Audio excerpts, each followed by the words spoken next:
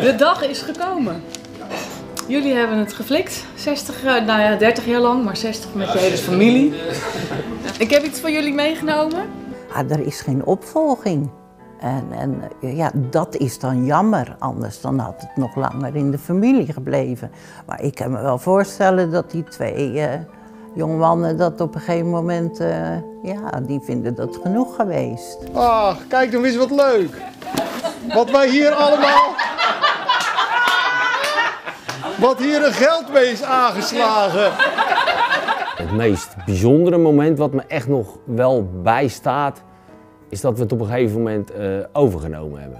En we hebben daar ook een mooie foto van. En dan sta ik hier met mijn vader bij de showtafel. En dat is dus in 91. Ik ben een de Wit. Een rasechte.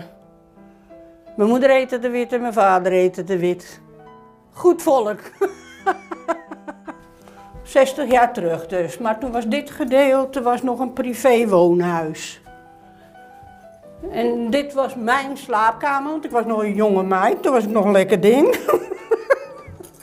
nou, meer natuurlijk.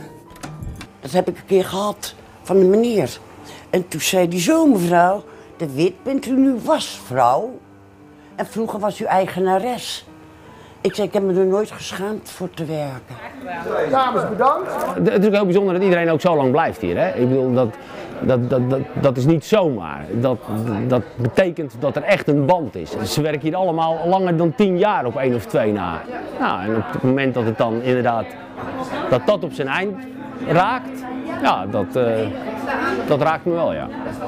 Dat raakt me meer dan ik vooraf uh, ingeschat had.